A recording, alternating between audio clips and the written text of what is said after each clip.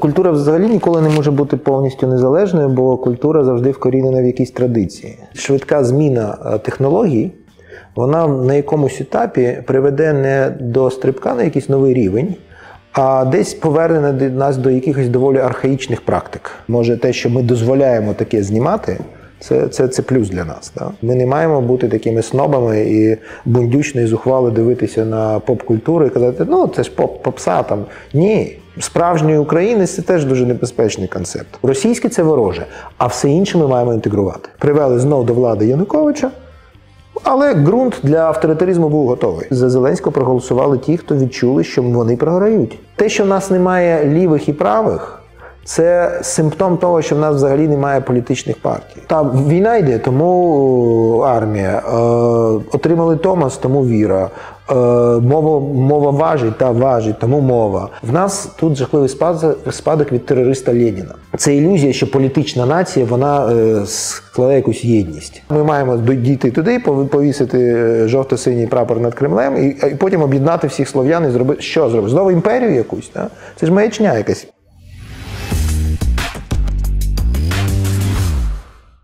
Вахтанг Кібуладзе, український філософ, есеїст, перекладач, публіцист. Доброго дня. Доброго Дякую, дня. що погодились на розмову. Ми записуємо це відео під час Конгресу культури. Українська культура стає незалежною, чи можливо вже стала незалежною і окремою від російської, там можливо білоруської, радянської. Ну, що означає, ну культура взагалі ніколи не може бути повністю незалежною, бо культура завжди вкорінена в якійсь традиції.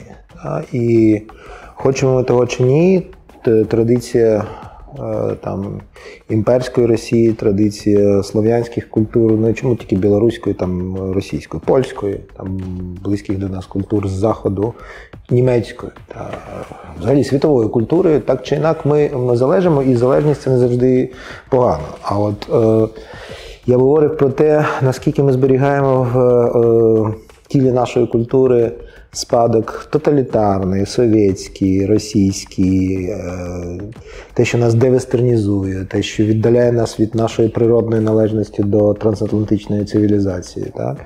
Е, на жаль, це ще помітно. Та, помітно, причому на всіх рівнях, починаючи з масової культури і завершуючи там. Е, там я не люблю це слово висока культура, так? ну, скажімо, там велика література, там, філософія кінематограф. Ну, простий приклад. Я от в попередньому інтерв'ю це казав. От Я приїжджаю сюди, у Львів, та, і дуже часто чую в таксі чи в транспорті російський шансон. Це, це, що це? В бой йдуть русські офіцери, я час від часу чую біля опери, співають вуличні музиканти. Ну, е, ну от, тобто no comments, так? Що, про що ми говоримо? Це це означає, причому от є така маніпу, маніпуляція, мовляв, ну як же ми без великої, високої російської культури? Так, там, умовно, Толстаєвського. Без, без Пушкіна, і... так? Да? Про це в мене теж є один такий е, історія, яку я у Львові вже розповідав. Але е, це ж це ж брехня. Насправді вона заходить повсюдно на всіх рівнях культури через шансон, через серіали, через якісь ментівські оці серіали жахливі. Так? Е, і ну це є так. Ми маємо з цим до діла, маємо якось давати собі ради з цим. У Львові привикли казати, ми П'ємонт, ми культурна столиця. Скільки це взагалі правильно, неправильно так виділяти місто Львів, і наскільки це відповідає дійсності, що тут задаються якісь культурні тренди? В тому числі от Конгрес культури, це ж ніби з'їхалися з всієї країни. У Львові точно задаються культурні тренди, але просто в Україні є кілька культурних центрів, і Львів один з них безперечно. І для мене взагалі існує такий чотирикутник, дуже важливий, український. Це Київ, Львів, Одеса, Харків. Такий. От. І якщо от, баланс має бути роз, роз, роз, розповсюдження української культури по всіх цих центрах, і е, дуже важливий ще момент комунікації між цими центрами, тому що часто густо я це повторюю. Я приїжджаю в Одесу, розповідаю якісь речі, і там абсолютно люди зеленого уявлення не мають про те, що відбувається у Львові і в Києві. Е, у Львові можуть не знати про те, що відбувається в Харкові. Е, в Києві про те, що відбувається в Одесі у Львові, і це це погано. Окрім того, підтягуються інші міста, скажімо, от Франківськ, Мені дуже подобається це місто, як як місто, як urban space. Да? І ну, є ж феномен літератури нашої сучасної, яка звідти і там теж якісь Дуже процеси процеси цікаві відбуваються. І ну, інші Дніпро, я не знаю. там. Чи можна Маріуполь додати як е, п'яте місто, і місто, яке зараз дуже швидко розвивається, багато вкладається, і яке в себе забрало багато різних культур, там греців, там умовно грецьку, і зараз туди переїхали велика кількість переселенців, які захотіли виїхати з окупованих територій. Відповідно, вся ця каша зараз там розвивається. Це питання для мене дуже суб'єктивне і інтимне, е, тому що з одного боку я ніколи не був в Маріуполі, да? і я не можу оцінити е, культурне, інтелектуальне життя цього цього міста. А з іншого боку, з цим містом пов'язана історія моєї родини, тому що е, гілка по моїй матері це греки. Це греки з Приазов'я, і моя прабабка, яка в мене. Е, виховувала, яка навчила мене читати і писати, вона закінчувала гімназію в Маріуполі ще на початку ХХ століття. Тому я б дуже хотів, щоб так було, бо я відчуваю якийсь зв'язок історичний з цим містом, взагалі з цим простором. Але оцінити наразі не можу, бо просто не не знаю достатньо. Угу. А коли приходиш в культурну цю тусовку, вона дуже чітко ділиться на на дві категорії: люди, які там народилися ще десь в радянському часі, вже там усвідомлені були, і вони говорять постійно про втрачене покоління, втрачене покоління, і ми повинні творити культуру не для них, а десь для майбутнього, щоб наші діти вже її споживали. Чи правильний такий підхід, і чи правильно взагалі забувати про так зване втрачене покоління, чи треба активно якраз з ними працювати? Ну я я належу, начебто, до цього до цієї е, покоління. Я, і, Це моє покоління втрачене чи ні? Ну, виходить, люди, які вже в 80-х були в свідомому, як це, в свідомому віці. Вже ну, слухайте, якщо е, якщо нас порівнювати з Lost Generation е, європейської американської трансатлантичної цивілізації 20, початку ХХ століття, то ми ну там там же ж Ремарк, Гемінгуей та народилися. Це все, то це, це, це, це не, не так вже погано. Але що означає втрачене покоління? Ну от е, я ж є. Я народився на початку 70-х, на всередині 80-х я себе вже усвідомлював. Та, ну, Я я, я себе втраченим не вважаю. Та, І в мене є мої е, однолітки, які трохи старші за мене, є, є мого віку, які доволі активно присутні в сфері в сфері культури.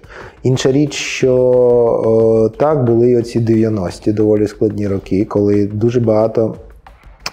Е, сфер культури е, вони були занедбані і вони були практично відсутні. Ну, Наприклад, кінематограф. Так? От Ми ж не мали от ціле покоління кіномитців виросло, не знімаючи кіно. Ну Це ж парадокс, так, і нонсенс. В сфері літератури, філософії, там, де важать тексти, ну трохи простіше, тому що нам ніхто не забороняв вже нарешті писати те, що ми хочемо, і читати те, що ми хочемо, вчитися, де ми хочемо. Так? І ну, шанс був, хто хотів, скористався. Ви писали статтю Культура повільно. Ось, але чи не здається вам, що культура змушена зараз пришвидшуватися, ставати швидшою, швидше до нас через такі інструменти, через появу таких інструментів, як TikTok, який теж е, десь продукує культурний продукт, десь його поширює, але це все 15 секунд. І для прикладу в Америці вже створюють серіали, які там йдуть по 7 хвилин серія для того, щоб людина сприйняла, і причому змістовані детективні серіали. Ну, повна назва цього істеє нестерпна повільність культури, так? І це ясно натяк на назву одного з найкращих, як на мене, романів ХХ е, століття Нестерпна легкість буття Мілана Кундери. Е, ну, Там я висловлюю тезу, перша теза, що культура слабка і повільна, так? що культура має розвиватися еволюційна, а не революційна, хоча теж е, революції є всередині культури, і політичні революції також спричиняються до певних культур, культурних змін. Стосовно того, е, як впливає е, сучасні технології на культуру. Ну, по-перше, я завжди кажу, що для нас, інтелектуалів, потрібна певна темпоральна, емоційна, інтелектуальна дистанція від подій для того, щоб їх оцінити. І оскільки це от відбувається тут і тепер, зараз це от просто народжується на очах, ми поки що не, не, не, не до кінця можемо усвідомити, до чого це зрештою веде. І знов таки, чому? Тому що потрібна дистанція, потрібна ця повільність. Аби осмислити навіть такі швидкі практики, потрібна повільність. Але от я згадую е, тут е, Уберта Еко, от в ньому у нього є есей, який, у якому він стверджує, що е, оцей швидкий, швидка зміна е, технологій. Вона на якомусь етапі приведе не до стрибка на якийсь новий рівень, а десь поверне нас до якихось доволі архаїчних практик комунікації і культурних практик. І от, е, як приклад, я наводжу завжди, я я співпрацював в якомусь проєкті, де е, менеджерами були доволі молоді люди, нам ну, трохи більше 20. І нам треба було просто підписати угоди. Ну, ну як ми, як я працюю там? Мені надсилають угоди у вигляді Word, я редагую відповідно до того, що мені треба, потім відсилаю. Ну і ми так кілька разів пересилаємо угоду. Це суто технічні ну, так. моменти. Так? Носимо свої дані, та, там виправляємо. Та, щось виправляємо напрямок діяльності, і потім, вже коли все роздруковуємо, підписуємо. Я, А там було так, я мав надіслати угоду рамкову, та, яка в мене є була. І що я отримую? Я отримую не вордівський документ, я отримую фотографію де ручкою покреслено. Змієте? Тобто, ну, тобто технологія, тобто ця людина вже не працює в Word, вона працює з, з, з фотками. Фотить, да, от Вона потримала від мене, вона сфоткала, роздрукувала і покреслила, і знов сфоткала. Але даруйте, це ж повернення до архаїчних практик. Я, наприклад, ручкою вже не можу писати. Так? Ну, Я не можу думати. Ну, Я можу записати якусь коротку думу, яку рядок, афоризм, початок вірша. Так? Але немає Але коли я коли я починаю, коли я текст починаю, мені потрібна клавіатура, мені потрібна копіпейст, там зміна, структура тексту, там я переношу абзац сюди, сюди. Тобто я вже мислю інакше. А практика, оця, коли переводить текст в просто зображення, вона повертає нас до архаїчної майстерності писати рукою. Так? Умберто Еко виявився правий. І ми не знаємо, до чого спричиниться TikTok. Ми лише на початку історії. Може, ми повернемося до до дуже архаїчних практик, так? наприклад, там ну, зображень на стінах. Та, Спрощення сюжету, щоб пошвидше, полегшити 8-10 секунд. Ну, і, да, до чого це знов таки, це не обов'язково веде до, до якогось нового рівня. Це може відкинути назад. І ми знову пройдемо історію, але якимось іншим каналом. Цікаво. Ось це от спрощення, е, простіший контент, який треба споживати, щоб він був легкий. І в той же час у нас 29 е, вересня та вийшов фільм Лозниці Бабин Яр. Ви його бачили, ви брали участь в обговореннях. Документальний, я б сказав, дечому складний. А суспільство до такого контенту готове. Е, воно готове його сприймати і рефлексувати. Ну, якщо ви дивилися, якщо ви дивилися ефір е, обговорення цього цього фільму, то ви знаєте, що мені цей фільм, яко кажучи, не дуже сподобався. Тому е, я я б не радив. Ну, тобто, ми живемо у вільному суспільстві. До речі, от те, що я не сказав на ефірі, може те, що ми дозволяємо таке знімати, це це, це плюс для нас. Да? Але е, ну, для мене це не є е, фільмом, який належить до високого мистецтва. Це доволі маніпулятивний фільм. Ну, Він ж з пропаганди складається. Пропаганді, І він виходить на новий рівень пропаганди. Це пропаганда на основі пропаганди? Так, так. І те, що те, що Лозниця це заперечує, а він в ефірі це просто заперечує, це нечесно, тому що це пропагандистський фільм. От І е, тому, що і саме тому, що це пропагандистський фільм, ну все ж таки мистецтво не може бути прямою пропагандою, як на мене. Коли мистецтво перетворюється на пряму пропаганду, вона воно починає слугувати якимось тоталітарним режимами авторитарним. Так? Е, і от мені здається, що з цим фільмом це це відбувається, на жаль. Тому що, Але я не знаю, як працювати з цим матеріалом. Е, це це дуже складний матеріал. В мене є з цього приводу лише есей пам'ять про жах. От я його е, надрукував в українському тижні. Ну там я спробував висловити свої думки ще до того, як я бачив цей фільм. Свої думки щодо от, цієї катастрофи жахливої Бабиного Яру. Е, і більше мені поки нема що сказати. Наразі от, от так я це бачу. Зараз я знаю, що кінотеатри деякі пропонують, е, що не готові показати, запрошують е, на показ, і в них є проблема з тим, що нема кому пояснити. Чи можливо взагалі цей фільм пояснити людям, коли там тобі показують дві години хронік пропаганди, а ти потім людям маєш пояснити, що тут те не так, те не так, чи взагалі на широку аудиторію не виходить. І я згадую завжди анекдот про розмову двох політологів. Так? Коли один одного спитає, ти розумієш, що відбувається, то відповідає, каже, можу пояснити. Ні, пояснити я сам можу. Тому ви розумієте. Е, чому тут проблема? Кіномистецтво це ж мультимедійне мистецтво. Воно впливає на різних рівнях. Воно впливає на рівні зображення, на рівні звуку, на рівні тексту, е, на рівні навіть кольору. Там з'являється колір, зникає колір. Так? Воно впливає дуже потужно, емоційно. Це дуже сугестивне мистецтво. Натомість е, будь-яке пояснення е, це вербальна практика, і вона насамперед апелює до наших раціональних, до наших когнітивних здатностей. І не судилося от е, демонтувати якісь впливи, які працюють на рівні емоцій, на рівні на рівні відчуттів, та на рівні просто там кольорового сприйняття. А лозниця це це дуже талановитий маніпулятор. Він цим маніпулює. Він же він же він же свідомо говорить: я не розповідаю вам історію. Він розповідає історію, але в інший спосіб. Та він не розповідає як, як наратор. Так він не говорить але він маніпулює зображеннями і деконструювати це вкрай складно. Просто лекцією там короткою на 20 хвилин показати, що там відбувається, як там відбувається маніпуляція, це це не спрацює. Угу. Але з іншого боку, ну можемо маємо пройти цей болісний досвід, так, от е, що виникають в культурі отакі явища, ми маємо на них якось реагувати. Ну я не знаю, якби мене не змусили дивитися цей фільм, я б його не дивився, я б сказав так. І я б не порадив його дивитися нікому.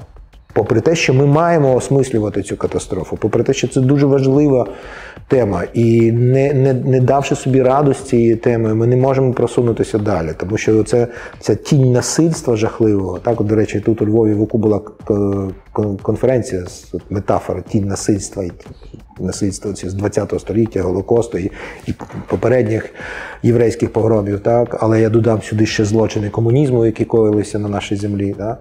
Ми маємо собі дати раду з цим, тому що якщо ні, то ця тінь і надалі е, от, е, падатиме на нашу історію, культуру тощо. Але в який спосіб не знаю, поки відповіді в мене немає. Я тільки додам, що у нас є розмова з Андрієм Усачем про львівський програм, в тому числі його враження про фільм Лозниці. Обов'язково подивіться, посилання буде десь ось тут зверху. Ми можемо говорити, що над українською культурою над Україною є десь тінь Росії, Радянського Союзу. Яка постійно за нами от слідкує. Зокрема, фільм Лозниці. Я йому сказав це відверто в, в ефірі.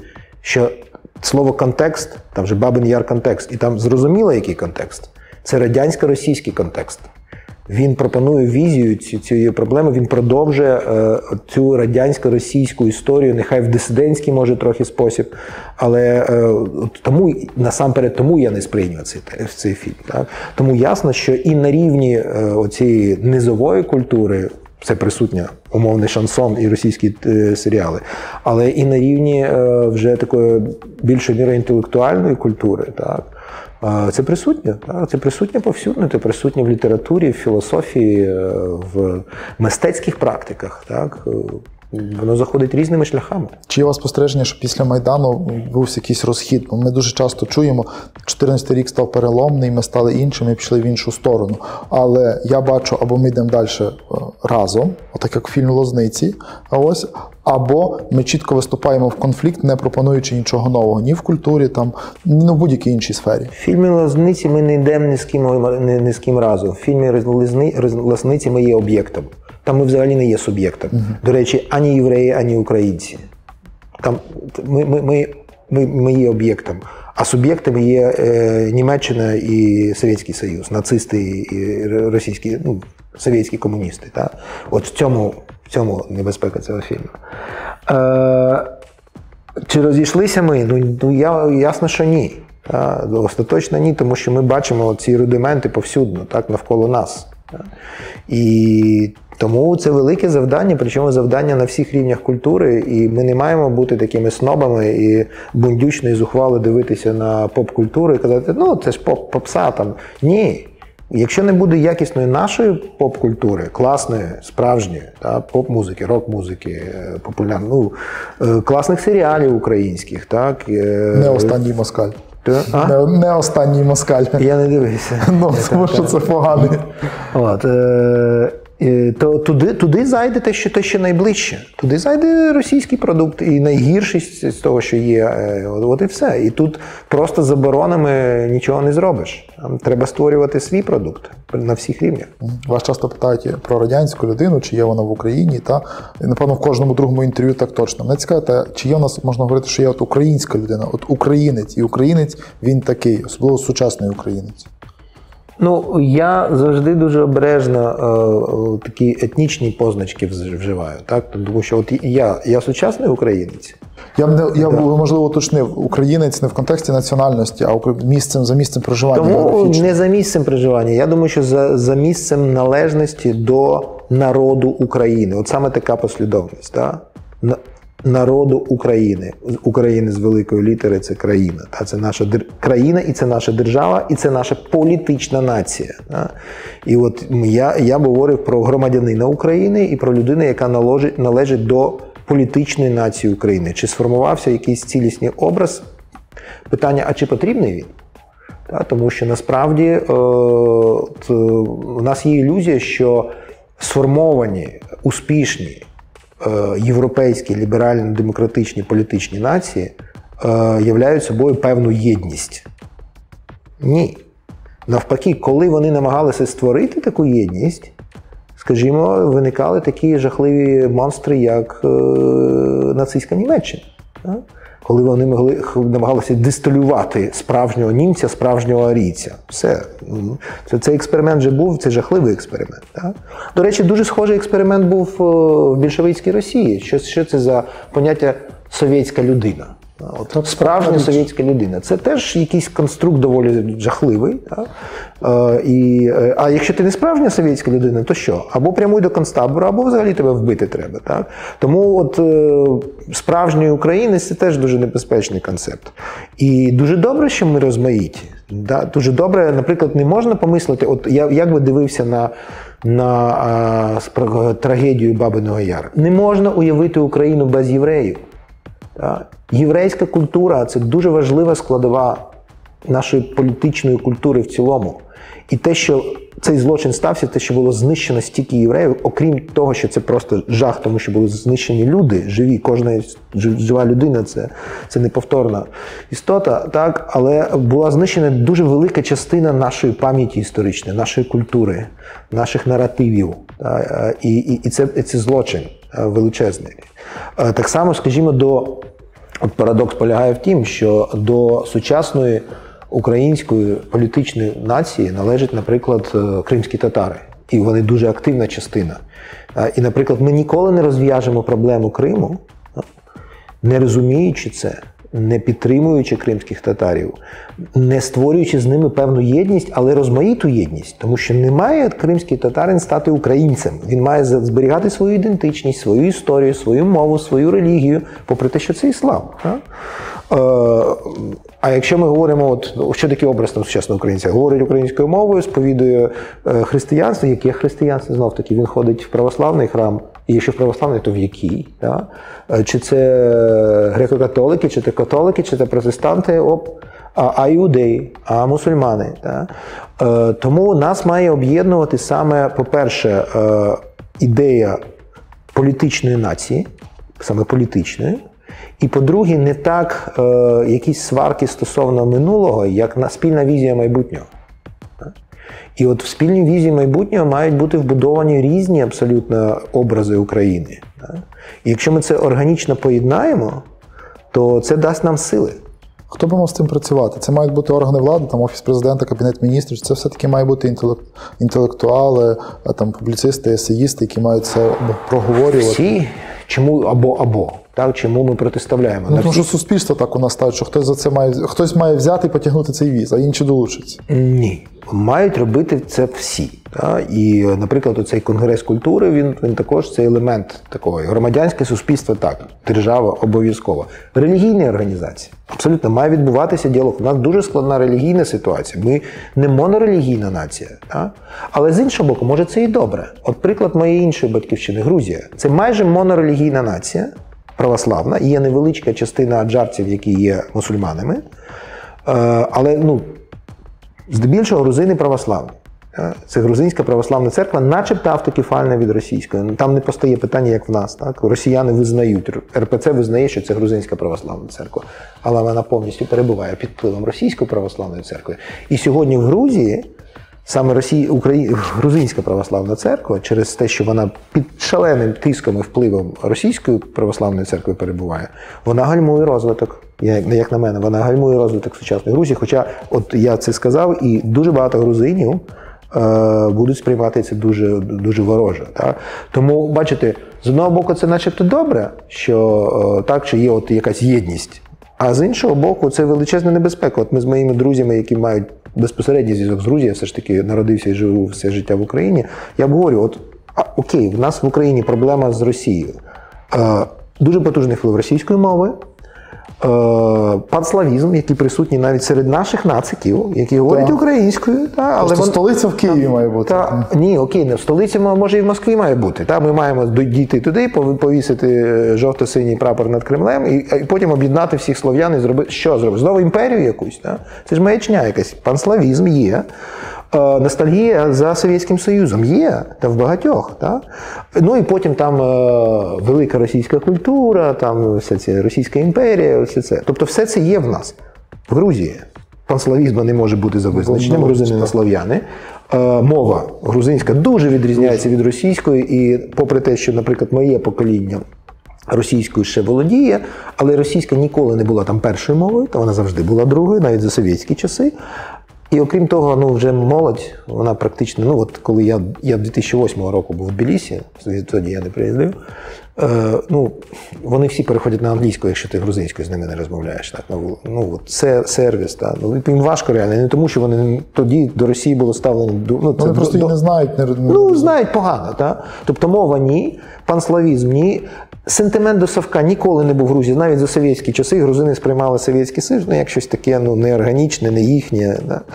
Ну і ностальгія за царську імперію ну, може в якихось дуже невеличких шарах е, аристократів грузинських, які там зберігли цю пам'ять про інтегрованість в царську імперію. Та? Але церква. От єдиний чинник, який дуже міцно поєднує Грузію з Росією. І з одного боку, це начебто єдність, так? Грузини, вони всі православні. Ми всі православні грузини. Так я, я до речі, хрещений в грузинській православній церкві в Білісі. Ну, коли приїздив до бабки, вона мене похрестила. От, е, але бачите, ця єдність може бути загрозливою.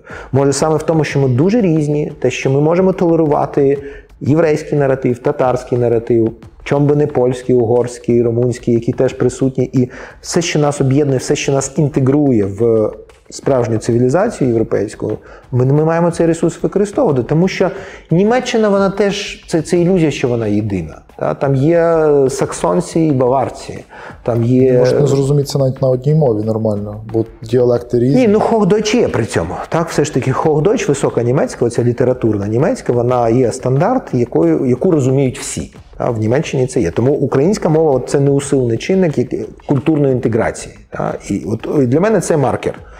Якщо ти визнаєш українську мову як е, дуже важливим чинником інтеграції нашої, то це все байду, все інше байдуже. Да? І, е, ну, я маю на увазі в культурному плані. Не можна нав'язувати людині, е, до якої церкви ходити, чи взагалі ходити до церкви, та, відчувати себе належним до там, слов'янського світу чи до якогось іншого. Тобто це, це інтимні речі. А от мова, мова публічного спілкування, знов таки, там як люди розмовляють між собою в родині, то теж інше там і багато хто розмовляє кількома мовами в родині. Та? А от мова public space, мова держави, мова університетів, е, мова театрів, та? має бути наша державна мова, і це ядро інтеграції нашої. От, е, візьміть Іспанію сучасну. Та? Там каталонці, баски, баски, галісійці, і, і серед каталонців там теж є різні. Так? Тобто це лише ілюзія. Всі політичні нації вони не моноетнічні. Вони бельгійці, італійці, та? північна Там Італія, південна Італія. От, е, і, і, там, і, і там навіть складніше, бо там інколи мов кілька мов, і там вони конкурують. Так? Тому це ілюзія, що політична нація вона е, складає якусь єдність. Не треба цю ілюзію плекати. Це ж це небезпечна ілюзія. Так? Єдине, що ми маємо розуміти, що сьогодні, на жаль, наразі, що є загрозливим, це все, що пов'язано з Росією. І тому що йде війна. І не ми її розв'язали. Оцей елемент для нас є вбивчим на сьогодні. На сьогодні я дуже сподіваюся, що колись може, може, ми доживемо до цього. Е, Це зміниться, хоча в мене мало сподівань на це. Тому російське це вороже, а все інше ми маємо інтегрувати. Ви говорили про те, щоб до Європи рухатись. Ми більше Європа чи більше Азія? Ні, ми точно не Азія, і я, я не вважаю Україну Азією. Мені здається, тут прекрасна оця метафора Плохія, так? Сергія Плохія, одного з- найвідоміших наших істориків, Україна брама Європи. Так? От ми маємо сприймати себе брамою Європи. Та ми не центр Європи, але даруйте, от я дуже люблю Іспанію, в мене там дуже багато друзів. І коли ми обговорюємо ці геополітичні е, сюжети, вони кажуть: «Хм, е, так, ви схід Європи, але ми теж ми, ми захід Європи. Ми, Теж на ми, та, ми теж та, ми теж певною мірою брама Європи. Та? Тому е, є європейські народи, абсолютно європейські, та, які теж відчувають себе е, на маргінесі, не в поганому сенсі цього слова, тому що е, це не означає маргінальне, не означає погане тільки. Воно означає трохи інакше, так, яке, яке змішане з іншим, тому що іспанська культура, наприклад, дуже змішана там, з арабською культурою. Ну, Зрозуміло, але це Європа. І от е, коли ми усвідомимо себе брамою Європи, коли ми усвідомлюємо себе е, східним кордоном Європи, та, е, всі разом, мені здається, що це дуже дуже дуже потужний і дуже корисний наратив. Все, що нас девестернізує, все, що нас штовхає, штовхає в бік Азії, для нас є на сьогодні загрозливо.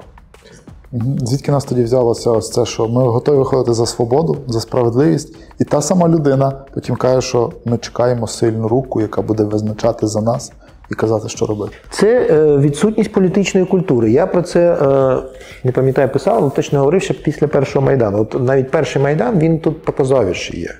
Тому що е, ми тоді змішали в свідомості. Ми, як я ні, я розумів, що відбувається, але я маю на увазі ну, нас як певну єдність політичну. Два, два розуміння е, суспільної угоди.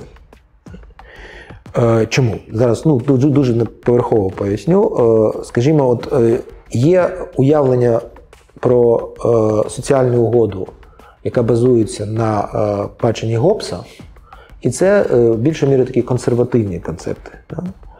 І е, уявлення про соціальну угоду, яка базується на е, теорії Лока. І це те, що узасадничує сучасну ліберальну теорію і ліберальне бачення соціальної угоди. Я дуже спрощую, але е, от покажу зараз на прикладі. Е, Там дуже багато різних відтінків і відмінностей, але головний, як на мене, в чому відрізняється концепція Гоббса і концепція Лока? Е, В тому, хто є агентами і контрагентами соціальної угоди. Для Гоббса це весь народ та, і суверен. Та? Точніше, ні, неправда, не так. Навпаки, за Гоббсом це е, горизонтальна, начебто, угода між нами. Ми домовляємося всі, і ми визнаємо цього суверена. Ну, розумієте, так? Начебто це виглядає дуже, дуже демократично. Так? Ми домовляємося між собою і визначаємо, от цей керує. Лок каже: ні, ні, ні. Суспільна угода укладається не горизонтально. Суспільна угода е, укладається між всім народом, всією політичною нацією сучасної мови і володарем сувереном. І от це насправді є ліберальним. Чому? Тому що коли ми домовляємося між собою, хто, хто суверен, він виведений за, за рамки угоди. І тут вибудовується ця вертикаль. І зрештою так можна навіть до монархії прийти. А от коли ми укладаємо угоду з владою, з президентом, з парламентом, байдуже, ну ясно, що це не угода, яку ми підписуємо на папері. Ні, це зрозуміло, це метафора, суспільний да? договір. Так, суспільний договір або суспільна угода. Е, Social contract. Да? То він є контрагентом угоди. Якщо він не виконує умови угоди, угода розривається. Да? І от що відбулося на першому майдані? Ми спочатку вийшли всі, апелюючи до ліберальної візії суспільної угоди. Так? Ми уклали угоду з владою, вона має дотримуватися е, правил виборів. Пам'ятаєте, ми ж вийшли тоді після проти фальсифікації виборів. Так?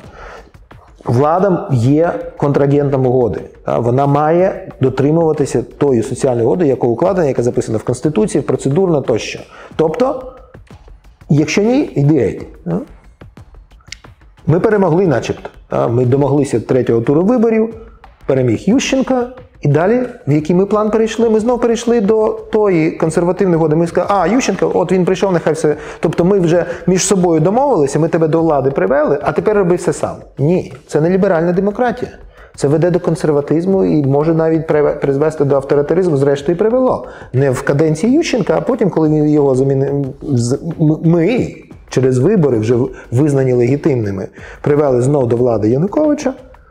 Але ґрунт для авторитаризму був готовий. Чи не відбувається зараз те саме, коли Зеленського штовхають, бо кажуть, ми, ми готові, давай, йди, йди, бери відповідальність. Хто його штовхає? Частково громадянське суспільство, частково самі люди, які мовчать і погоджуються на все. Ну, в нього Ставлячи ж- шальки О. противаг. Зробив з тим же ж каналами Медведчука. Умовно, я проти них. Їх закрили, і слава Богу. Але з другого боку, який це був спосіб, і чи через три роки ми не повернемося, що вони знову з'являться. А, Абсолютно. Е, ну, тому, але бачите, ну, це от е, ризики демократії. Соціологія, наскільки я знаю, дотепер показує доволі високу підтримку Зеленського. Так? Може, не так е, партії, як, як його.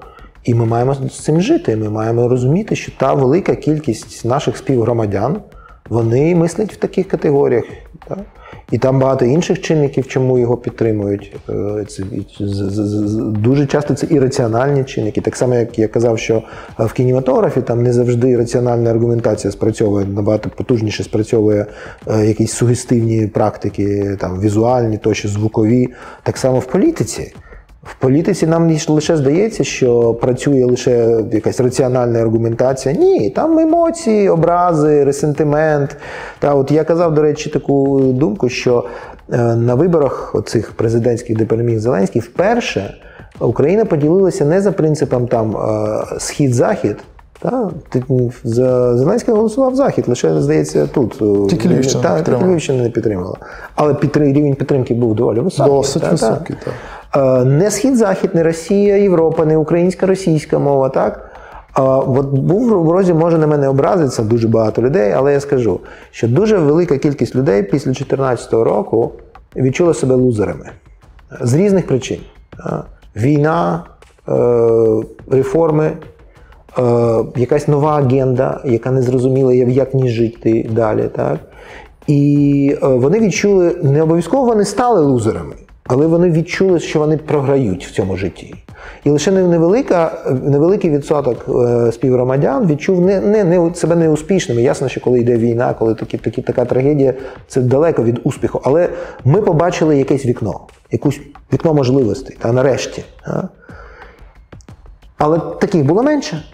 І тому проголосували ті, за Зеленського проголосували ті, хто відчули, що вони програють. І тут були і східняки, і представники Західної України, і російськомовні, і україномовні, і різні. Всі були так, разом. Це поділося кудись? Ні. Це не поділося нікуди, тому доволі високий рівень підтримки. Але от бачите в цьому і раціональність. Сьогодні багато хто програє саме через дії теперішньої влади. Але в своїй свідомості вони це не поєднують. Вони просто через свій ресентимент вже підтримали цю владу і, і за інерцію підтримують її далі. Тому політика це доволі ірраціональна річ.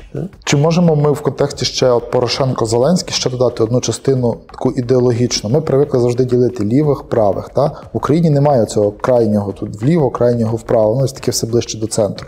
І чи можна говорити, що тоді ми бачили в Порошенко як правого, така армія мова віра, і в Зеленського, який говорив про суто всякі соціальні речі, більше лівого, і суспільство туди знайшло свої ідеології. Такий спрощений варіант. Е, Важко сказати. Мені здається, що тут плом є те, що в нас е, взагалі те, що в нас немає ярко вираженої лівої, ярко вираженої правої партії, принаймні національного рівня, це е, з одного боку, начебто добре, в нас немає радикалів.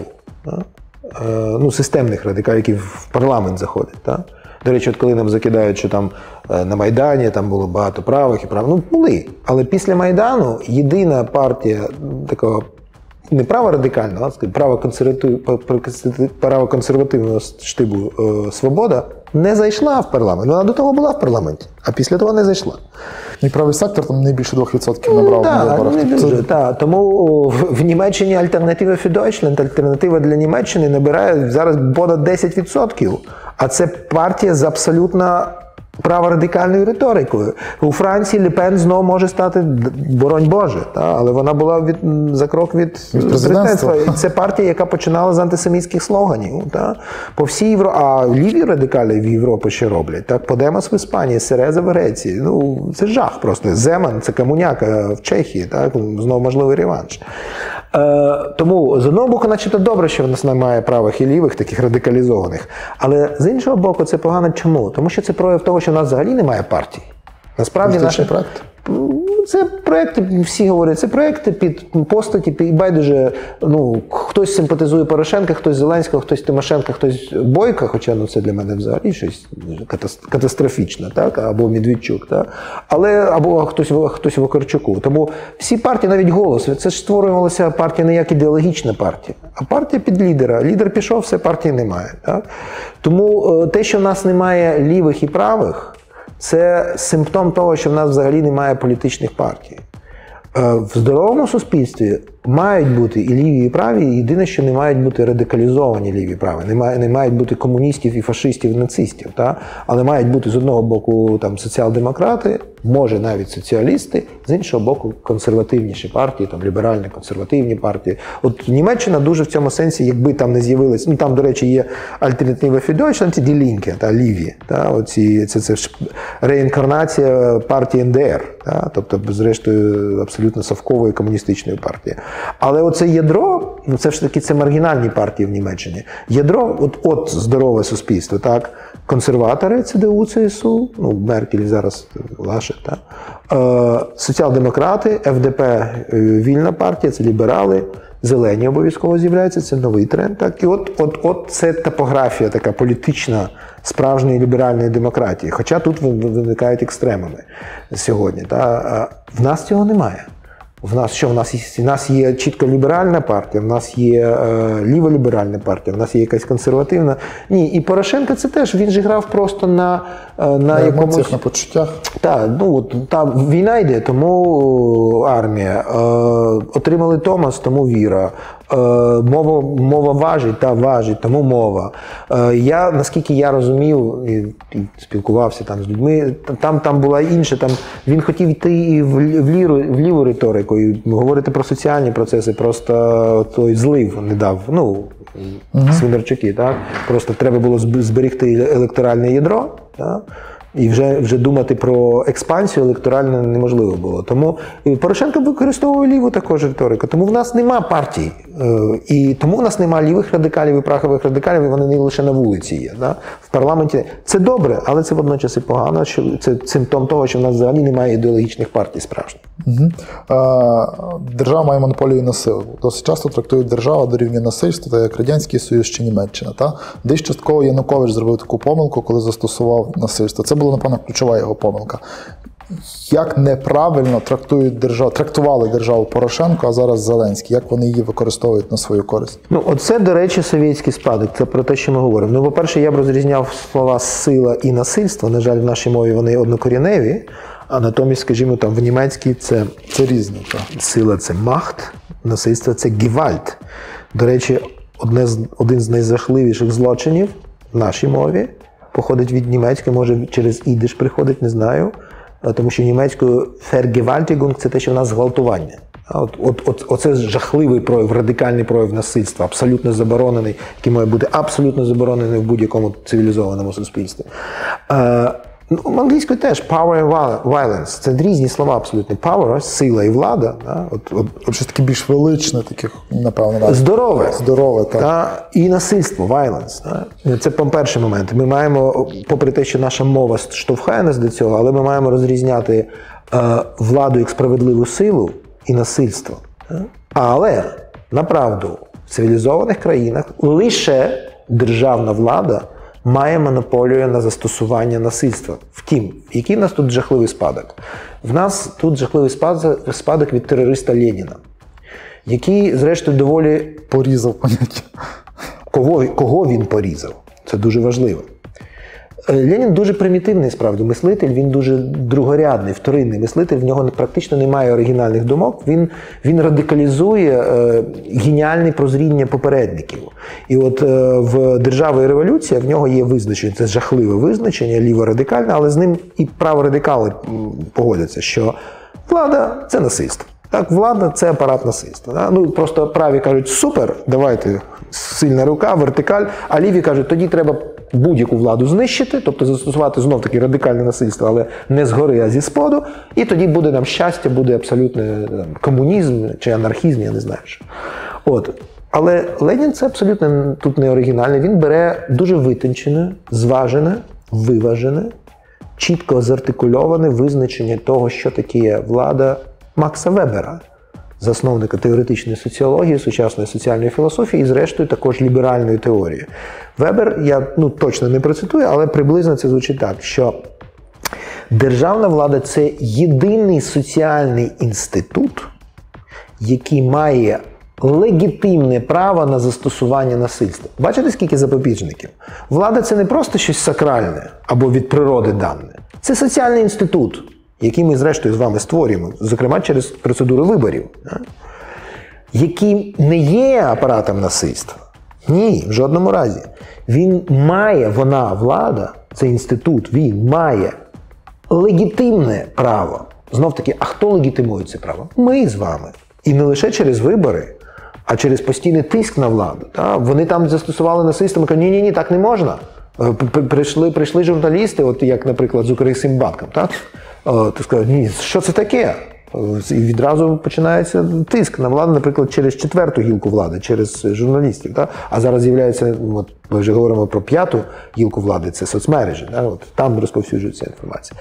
Тобто ми кожного разу або легітимуємо це право, або не легітимуємо. І це право на застосування насильства. Так? Лише в радикальних випадках, коли треба захистити е, Левіафана всього, коли треба захистити все суспільство, та, наприклад, від зовнішньої агресії. Ну, наприклад, наша ж влада. Луганськ, Харків, Крим. То Там треба ми ж застосовували насильство. І зараз застосовуємо насильство. Ми ж тримаємо лінію фронту, там армія, армія що таке? Ну, армія, ну там by default, за визначенням там насильства є, там застосування зброї взагалі важкої. Так? Тому е, от е, Ленін він радикалізує, примітивізує Вебера і створює цей жахливий ліворадикальний наратив, який дотепер сидить в наших мізках. І ми вважаємо, що влада це і є насильство. Це не так, це брехня. Це, це погана радикальна брехня, яка об'єднує лівих радикалів і праворадикалів. І якщо ми усвідомимо, що о, така радикалізація і примітивізація ліберального принципу влади як єдиного соціального інституту, який має легітимне право на застосування насильства, це шлях в нікуди, це шлях в хаос, шлях в руйнацію цілковиту, чи то ліву, чи то праву, чи то червону, чи то коричневу, от тоді ми інакше ставитимемося до влади. Чи то до Порошенка, чи то Зеленського, чи до того, хто прийде проти після них. Е, Українці навчилися реагувати на виклики. Е, Мені здається, що ми за це завжди вміли. Що хочу, мушу. Наша історія не випадково Тимоти Снайдер назвав наші е, землі кривавими землями. Так? Ну, ми, ми живемо, наша історія доволі жахлива. Може, тому що ми брама Європи, як говорить інший історик. Тому що тут, тут, тут, зрештою, вирішується доля Європи і може всього світу. Це я не пам'ятаю, нещодавно я читав, кому належить цей вислів, що Україна це одне з небагатьох місць в світі, де вирішується доля всього світу. Це це 20 20 сторіччя. І з одного боку, це великий тягар, але з іншого боку, це велика місія. І якщо ми наш власний тягар сприймемо як місію, то можемо б інакше до цього поставитися. Для вас Зеленський перестав бути віртуальним персонажем? Тому що в 19-му році ви казали, що він для вас віртуальний персонаж. Е, Пройшло два роки. Ні, ну як ну я не можу це говорити, тому що це ж є людина така. Окрім того, що він президент, який мені подобається, не подобається, це інше питання. Просто є людина, Володимир Зеленський, так, і в нього є родина, діти. Так, ну я ж гуманіст, я не можу сказати, що це просто комікс якийсь там, як ну от. Е, я, я мав на увазі інше. Так, я мав на увазі інше, що от. Е, я казав про те, що була така ілюзія е, в наших колах, що, мовляв, от вони прийдуть до влади в такий, в такий спосіб, І там потім е, настане момент істини. Так? От коли вони почнуть е, лажати, факапити на кожному кроці, то ну, народ зрозуміє, що ні, е, щось не те відбувається.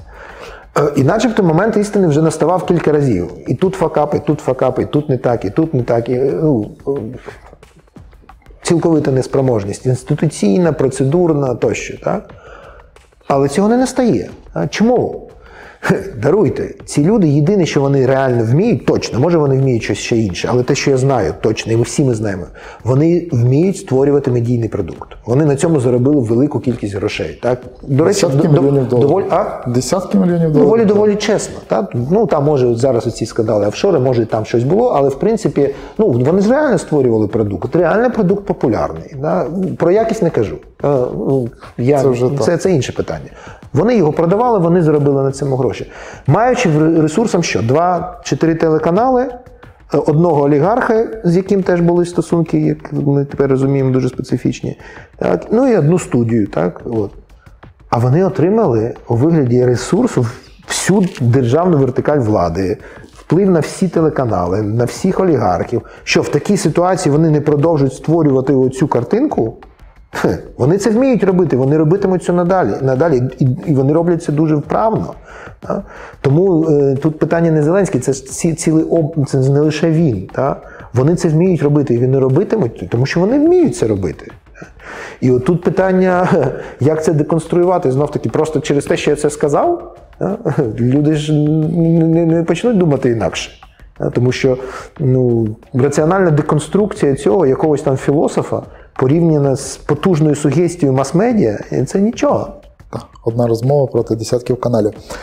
Олександр Мехет, книжка, якщо не помиляюся, 17 чи десь там в районі 17 сторінки, там є хороша розповідь, що люди кожного дня проходять через паркан диркою. Ось, і там написано Ти прекрасний, там написано Ти хуй. А, і людина себе десь, як він каже, так і почуває, бо кожного дня вона читає, хто вона. Чи немає десь так українського суспільства, коли українському суспільстві постійно кажуть, ви е, там замордовані, ви там постколоніальні, ви е, там е, постійно плачетесь, ви постійно жалієтесь, ви бідні. Суспільство десь так собі і живе, постійно жаліючись, не звертаючи увагу на те, що можна розвиватися без позитиву. Ну, я, б, по-перше, не маргіналізував це прекрасні частини нашого тіла. Да? Ну, чому? Ну, це просто є інші. Так? І, і, до речі, це чоловіче, є жіноче. Тобто, чому ми. От, е, але, ну і до речі, я не, не маргіналізував би взагалі цю лексику. Вона, вона присутня в нашій мові, і ну, треба з, нею працювати якось. Ну, до речі, Мехет працює. А, ну, мається на увазі книжка Я змішаю твою кров з вугіллям. Да? Е, ну, мені здається, що це не накинуто ззовні. Е, Це от є така риса, може вона спричинена доволі трагічною історією. Але є причина, є даруйте, є така риса от, е, постійно бідкуватися, да, постійно розповідати про свої, про свої, про свої жертви, трагедії. Так?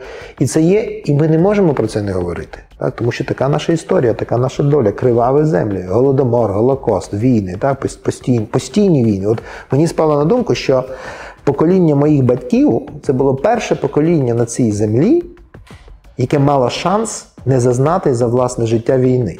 Вони народилися, і мама, і тато народилися після Другої світової. Так? Тато в Грузії, мама в Києві.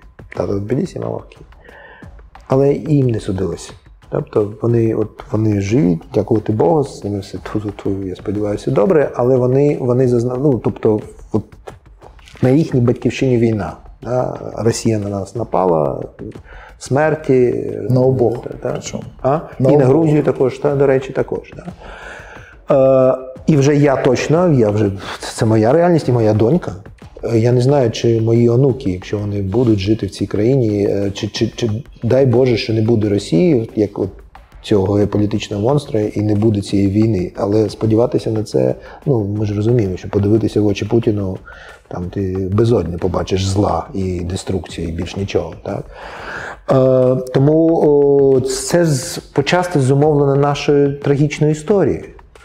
Але ми маємо вчитися, по-перше, перетворювати наші вади на переваги. І по-друге, все ж таки бачити певні історії успіху.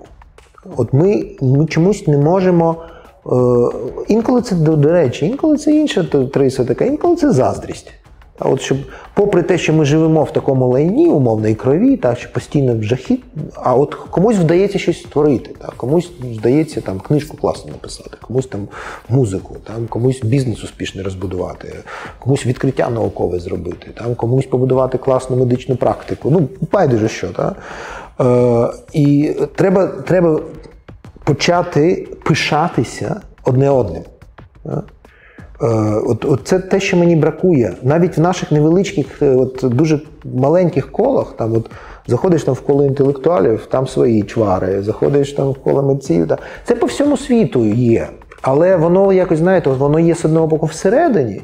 А назовні все одно, от будь-який там німець пишається тим, що в Німеччині є там література, філософія, кіно, музика, там в Штатах ну, ще потужніше, там, скажімо, кінематограф. Чи От нам нам бракує і нам бракує е, історії, е, які ми постійно розповідаємо, історії нашого успіху. Да?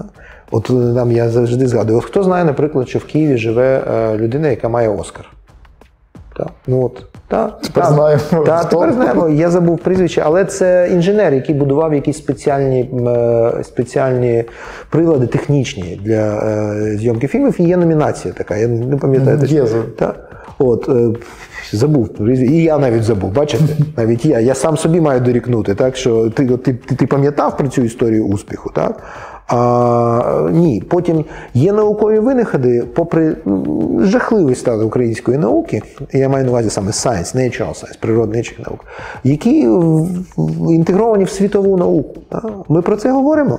Ні, подивіться, що ми про це взагалі. Ясно, що потрібний, потрібне якийсь е, лайно, срач, е, трагедія це, це завжди інформаційний привід для журналістів набагато цікавіше. Краще продається. Краще подається, да? але е, все ж таки, от якщо подивитися на медіа ну, розвинутих країн, там теж дисбаланс в бік бік, бік е, хейту, хайпу, там, якихось жахливих речей, але обов'язково є доволі потужні матеріали і в газетах, і, і е, телебаченні, і вже в YouTube, там, е, які розповідають історію успіху. Да? От Нам треба навчитися розповідати історії власних успіхів, і нам треба е, навчитися пишатися одне одним. Так, І, і розуміти, що якщо, наприклад, поруч з тобою твій колега написав класну книжку, то е, це супер. Тому що тому що це ну, нас дуже мало. Нас, е, Нам нам, нам, нам треба говорити, от ми є. Та, Є українська література. Та є українська, там я не хочу казати, ну не філософ, от гуманітаристика. Та от є українська гуманітаристика, цікава. Та не така велика, там якась там європейська, там німецька, чи американська, чи французька, чи британська, але є. І якщо я сьогодні там цього року не видав книжку, а видав мій колега, то я не маю заздрити, що він щось видав. Так? А я маю сказати, у круто, та, от вийшла книжка там того, того, ну, це клас, це це створює цей простір нашої спільної реалізації. А це ми підтримуємо одного. Розвиває сферу. Так, абсолютно. І збуджує попит. Та, Тому що нам зарано конкурувати, я певний в цьому. Та, от В сфері, скажімо, я не можу казати там про бізнес, про політику. В сфері культури, от Конгрес культури, нам зарано поки що конкурувати. Ані в літературі, ані в кінематографі, ані в музиці, ані в е, образотворчому мистецтві. Поки що не той етап, коли ми маємо конкурувати. Е, той етап, коли ми маємо разом створити цей культурний простір і дедалі більшу кількість наш, наших співгромадян затягнути туди, так, щоб вони відчули цінність українського продукту, українського кіна, української літератури, української філософії, психології, соціології, музики, е, живопису, інсталяції, тощо, щоб люди люди розуміли, о, це круто, це наше і це круто. Треба треба туди йти, це треба туди е, гроші, щоб йшли, і приватні, і державні, і зовні, і зсередини. А потім, потім, от потім давайте подумаємо про конкуренцію. Да? Ну, Тому що поки що я не бачу тут е, штовхатися на на цьому маленькому майданчику за що. Ну, це... Дякую вам за розмову. Дякую.